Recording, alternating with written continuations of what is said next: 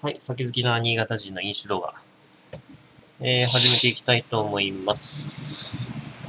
えー、今日はですね、札幌の新商品の、えっ、と、第3のビールですね。えっ、と、マイナスレイド。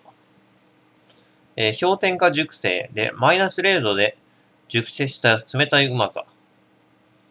まあこれマイナス0度って言うけど、0度は多分マイナスじゃないから、ね、プラスだと思うんですよ。わざわざマイナスつけても0度は0度ですから、多分マイナス0度は多分普通だったらプラス0度と表表記しなければいけないんじゃないのか。知らないけど。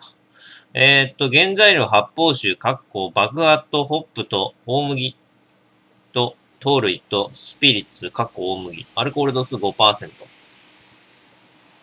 えーえーとね、注意書きに冷凍庫に入れないでください。缶が破裂する恐れがありますと書いてあります。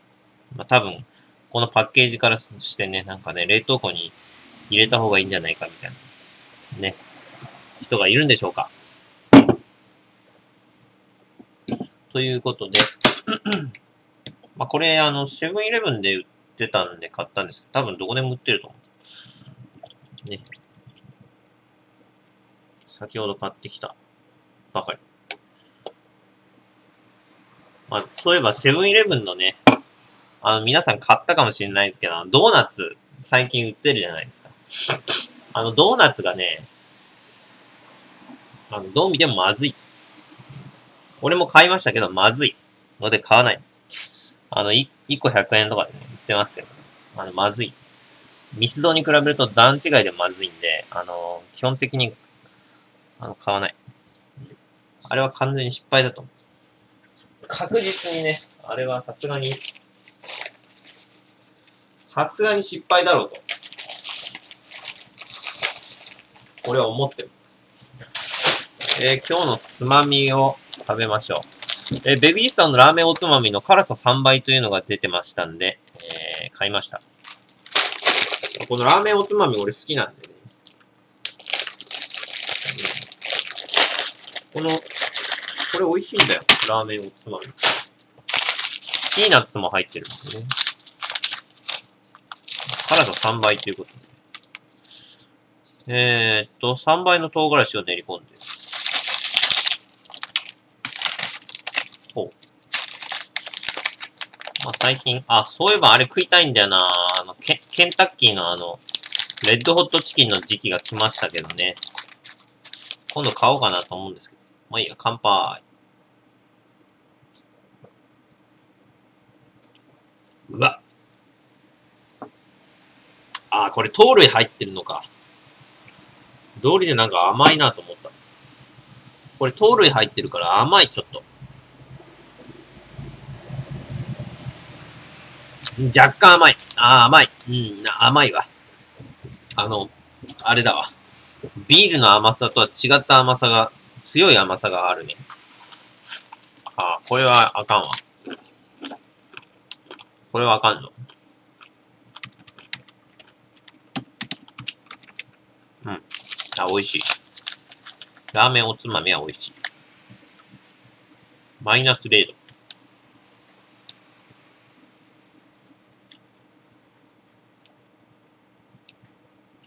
氷点下のマイナス0度で熟成することで雑味を抑え、え超高発酵によってシャープな喉越しとキレを実現。キンキンに冷えたジョッキで飲んだ時のような爽快でクリアな味わい。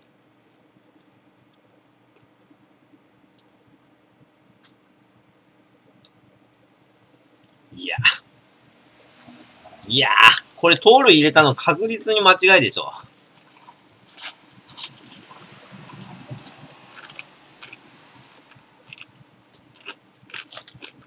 キンキンに冷えたジョッキで飲んだ時のような爽快でクリアな味わいって言うけど。いや、クリアなのはまあいい。爽快でもあるし、まあクリアでもあるっていうか、まあ結構喉越しがなんかいい感じなんですけど、これどう見ても甘さがね、あの、ひどい。あの、ドライで、クリアなんで、そこはいいんですけど、なんで甘いの？ドライでクリアで甘いっておかしいだろ。ドライって矛盾してない？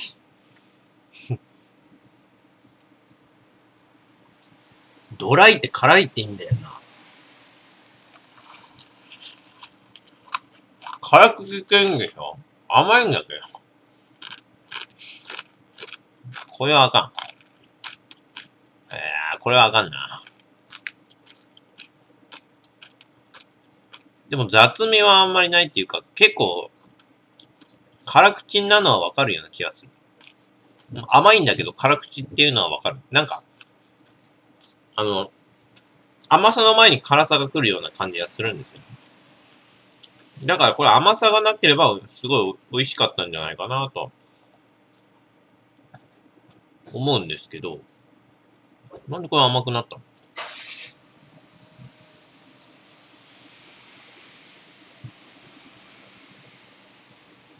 この、このなんか、無駄にこの甘い感じ。甘くなければ普通に美味しかったと思うぞ、これ。どう見ても。どう見てもこれ。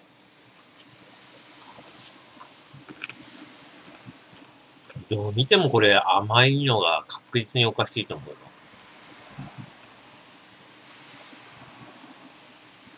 喉越しがいいし、あの、うん。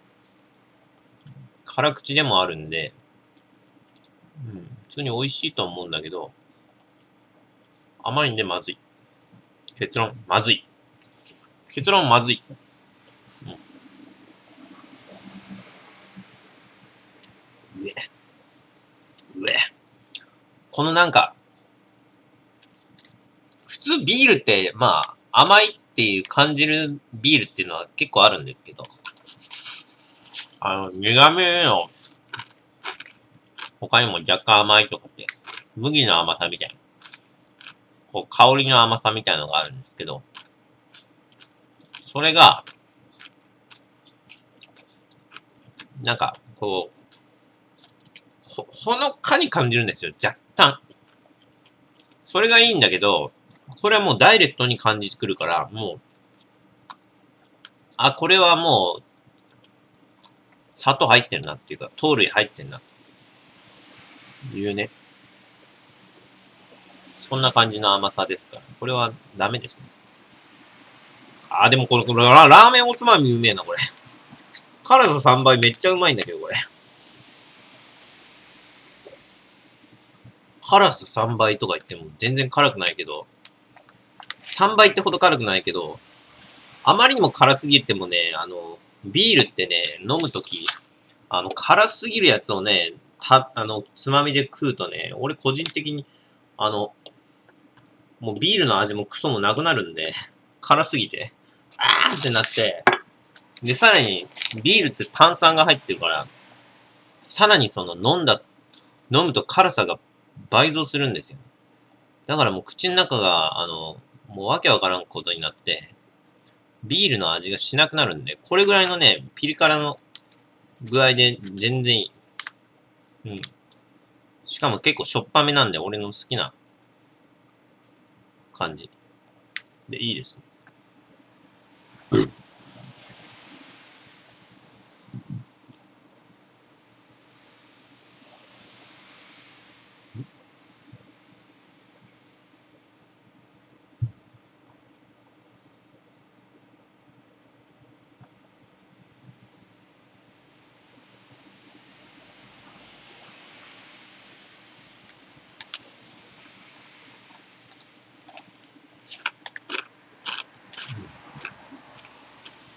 残念。これは、でも見た目は結構ほら、なんか、いいよね。マイナス0度ってなんか、インパクトがある。のはいいけど、これダメだ。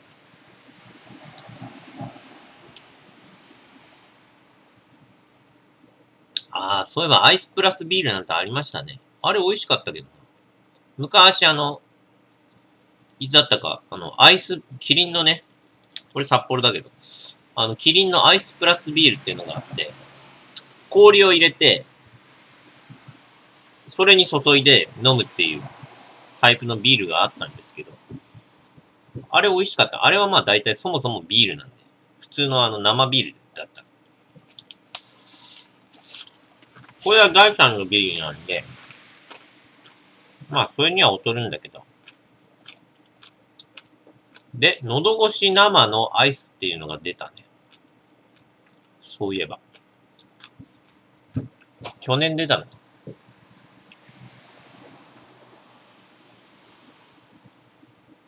出てましたけどまあ俺個人的に喉越し生嫌いなんで、あんまり美味しくなかった。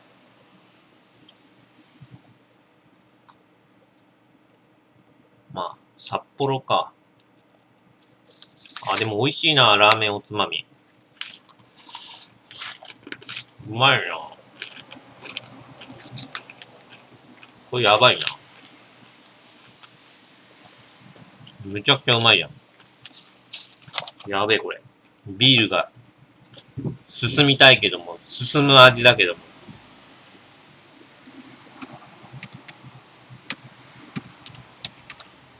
残念ながらビールがまずいんだよ。どうしようもない。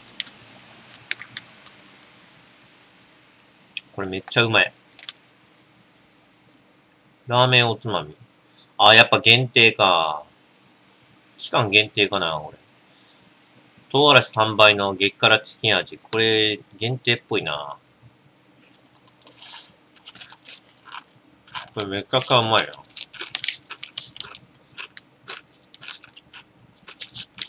夏限定かな。数年販売してもらいたいんだけど。これやべえ、うめ。まあ大体ラーメンおつまみ自体結構美味しいんですけど、それにさらにこう、辛さが、あれだね、加わった感じで、あの、なんか、さらになんか、その辛さも結構ピリ辛ぐらいなんで、うん。あの、ちょうどいい。ものすごいちょうどいい。辛さ感もちょうどいい。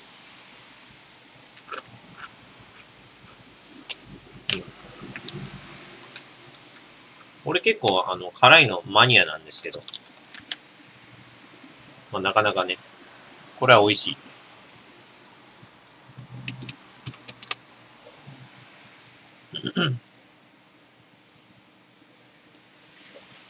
そう、あの、新潟は今、今日雨ですけども、あのー、最近結構雨が降ってるというよりは、何なんだろうね。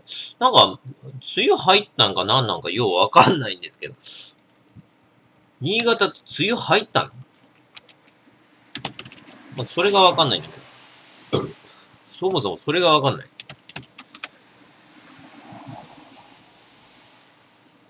平成27年の梅雨入りはあ、もう入ってんじゃねえか。全然雨降らないんだけど。え？本当に？梅雨入りと梅雨明け。27年の梅雨入りが、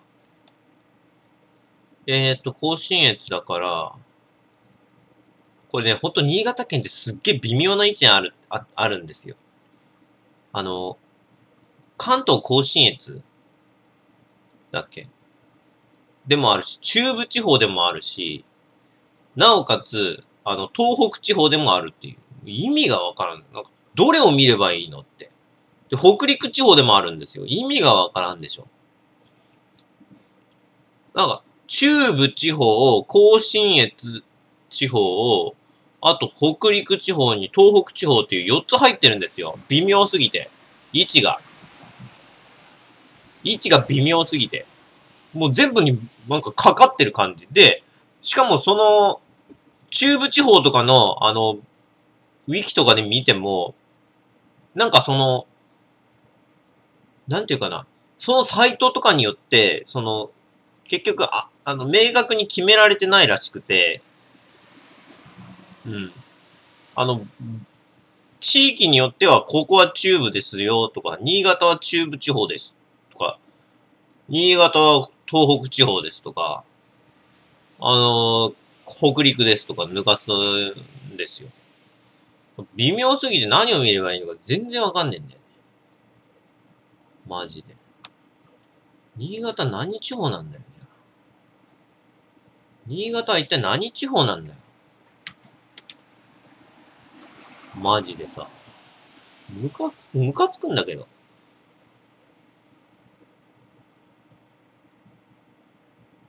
新潟県は北陸に含んで情報を載せてる人とかいるんですよ。で、新月地方にも含んでる情報を載せてるんですよ。で、大体半々ぐらいなんですよ。じゃあどうなってるんだえ、結論から言うと、えっ、ー、とね、教えてグーに、あのー、見、見ましたけど、公式には決まってないようです。だって。そもそも日本の行政組織に地方庁などがのないせいだと思います。それぞれ行政部門により勝手に区分しているそうです。ふざけない。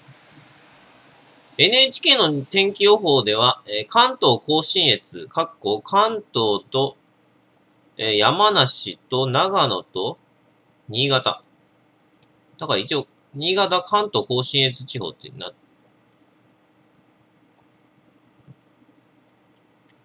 地図上は中部地方、歴史的には北陸地方、文化的には新越地方で、電力会社は東北地方、東力東北電力。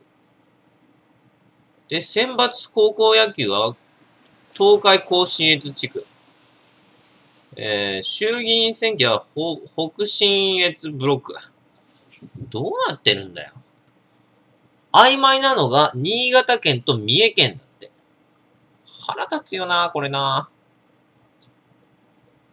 で、結構中部地方とかってもう言われてるんですよ。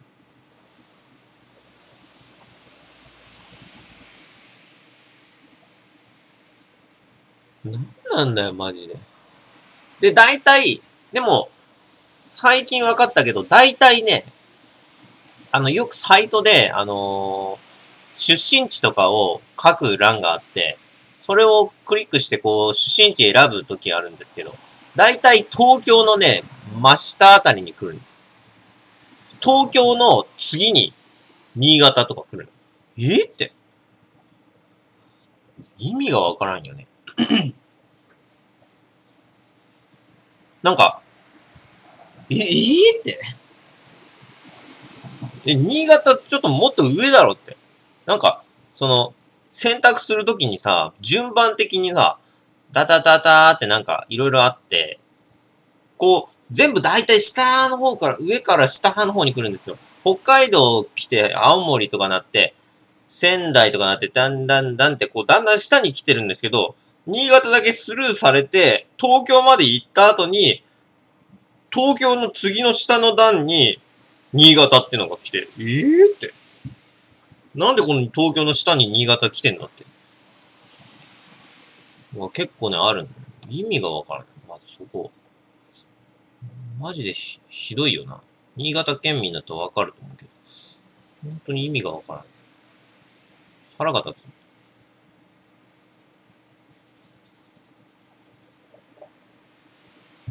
三重県か。三重県ってまずそもそもどこだかも俺もうわかんないんだけど。まあ、わかんないんですけど。えー、っと。ああ。札幌ビールのサイトに行くと、パーフェクト黒ラベル特製グラス2個とコースター2個セット。パーフェクト黒ラベル特製グラス1個が必ずもらえるキャンペーン。あ、これ欲しいな。あのー、よくある、あの、アマゾンとかで売ってるんですけど、ここの、あの、普通のガラス瓶、ガラスのグラスのあの、中が、あの、真空になってるやつですね。これ、それですね。真空になってて、札幌の、あの、あの、ぐ、あの、め、あの、銘柄っていうか、マークがついてるんです。が、えー、7月の13日までってもうすぐじゃねえか。これ欲しいな、このグラスな。俺結構グラスマニアでもあるんで。でもぶっちゃけた話、アマゾンでググって買えばいいんですよね。で、もらえるのが48巻コース。48巻で1個もらえるのか。48巻で1個ってこと ?1 ケース24本だよね。1ケースって24本だよね。ってことは2ケース買わなきゃいけない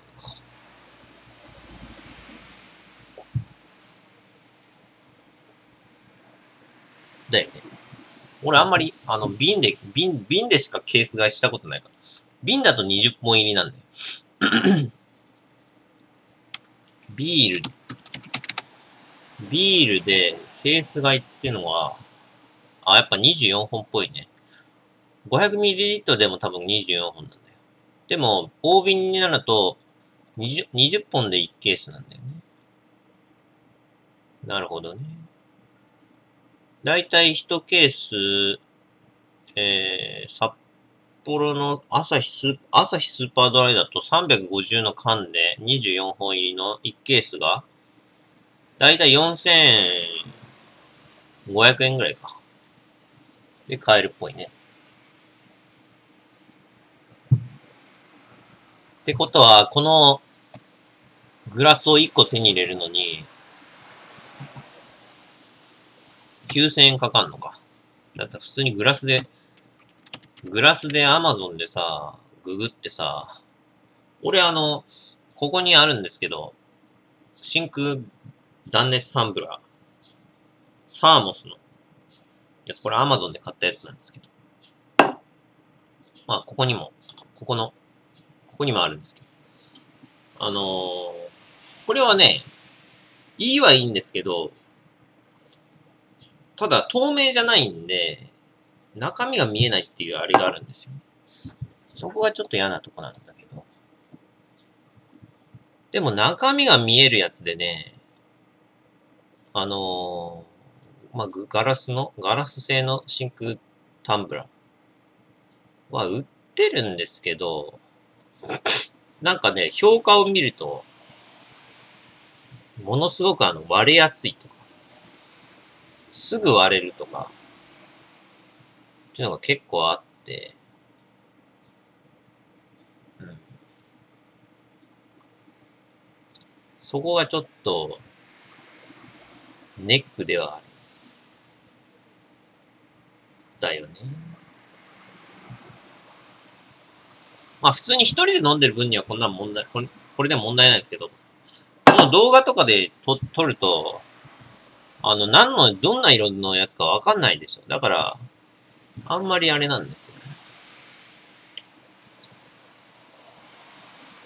動画とかだと、録画するときだと、やっぱり、こう見えるやつの方がいいっていう意見があったんで、コメントであったんで、じゃあそれの方がいいかなーっていう感じなんですよ。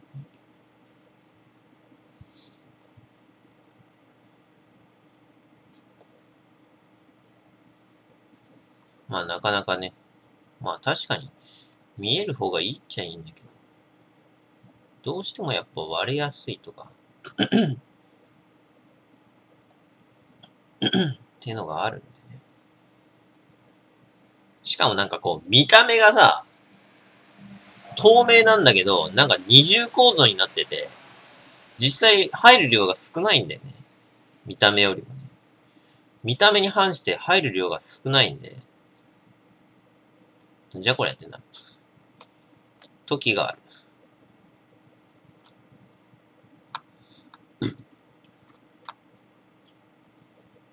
っていうことぐらいか。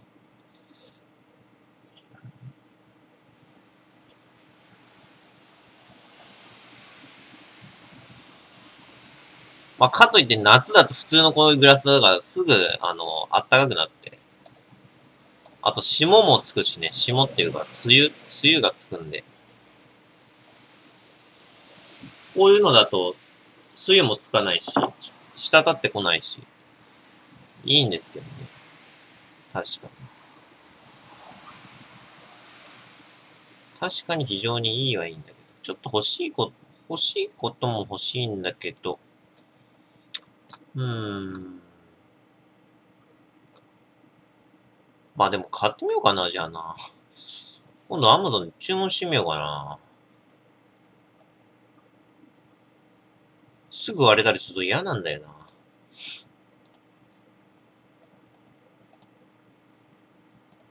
すぐ割れたりするのが。0.45リッター。あ、結構でかいな。でも0.45リッターってことは 450ml でしょ。このグラス多分、これも多分450ぐらいだと思うんだよ。でね、450だと多分、それのね、一回りかね、ぐらいブワーンってでかいんですよ。だからすごいブワーってなると思う、多分。おそらく。おそらくそんな感じだと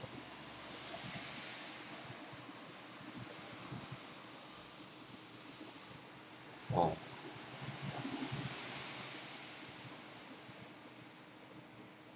まあ、夏に、ね。そうそう夏ですから、もう夏ですからね。グラスにこだわる人はやっぱこれでも、これだとちょっと、きつい。で、俺のこのコースターがね、これあの、水を吸い取ってくれるやつ、素材のやつなんで、これも Amazon で買ったんですけど、これはなかなかいい。水洗いもできるし、ギューって絞るとなんか結構あの、雑巾みたいにシャーって絞れるんで、なかなか清潔というか、汚れたら洗うといい感じになる。まあでも、だいぶ、だいぶちょっとひどくなってきた。まあ、うん。グラスね。俺も結構、酒、グラスで飲むから、氷入れて飲むからな。断熱タンブラー、ちょっと欲しいですね。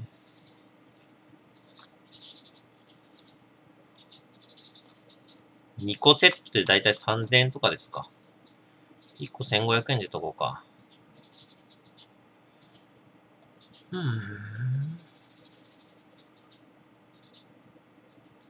まあ、やっぱり、その、カクテルとかさ、ロングカクテルとか作った時に、あのー、やっぱ見た目は重要ですからね。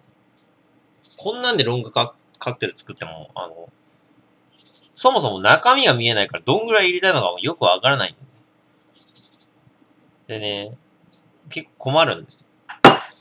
やっぱりガラス製だと、まあ、よく見えるし、どれぐらい入ったかなって見えるし。ね、確かにいいんですよ。確かに見えた方がいい。ので 今度買ってみようかな。0.35リッター。2個入りか。まあでも、1個すぐぶっ壊れる可能性もあるしな。すぐ割れましたとかっていうパターンが考えられるんで、ちょっと怪しい。